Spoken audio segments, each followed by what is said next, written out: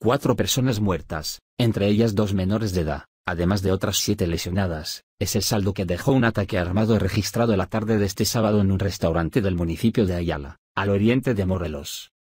De acuerdo con los primeros reportes policíacos, seis hombres con armas largas llegaron hasta el restaurante Las Carpas, donde sin mediar palabra abrieron fuego contra un grupo de personas que se encontraban comiendo.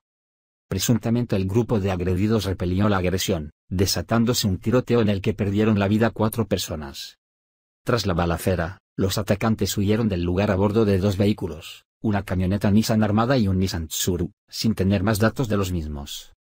El lugar fue asegurado por elementos de la Policía Morelos, mientras que peritos de la Fiscalía General del Estado realizaban el levantamiento de los cuerpos y los heridos serán trasladados a diversos hospitales de la zona para recibir atención médica, hasta el momento se desconoce su estado de salud. Las autoridades señalaron que por este hecho hay dos personas detenidas, además de armas y un vehículo asegurado.